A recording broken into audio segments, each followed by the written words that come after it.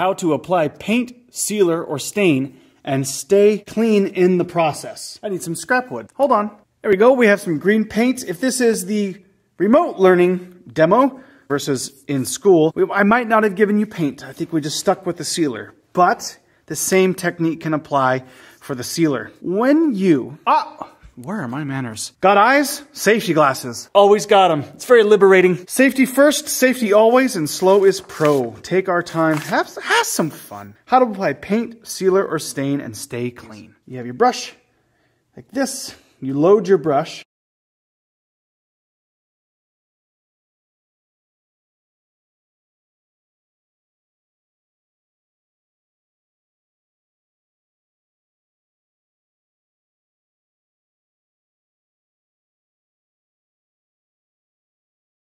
I call it the dip, scrape, tilt technique. You won't hear this on the job site.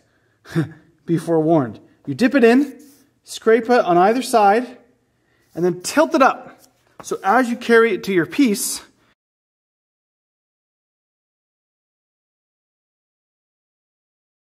so as you carry it to your piece, it has a chance to fall in the bristles and not drip out. Dip, scrape it, tilt it. So the gravity takes the paint a little, just a little deeper into the bristles.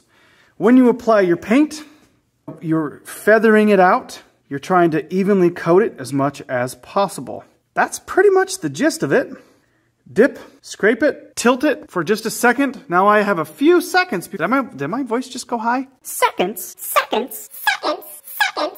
I have a few seconds before it starts dripping on whatever's beneath me. And there's my green board. Isn't that lovely? That's lovely. How to apply paint, sealer, or stain and stay clean.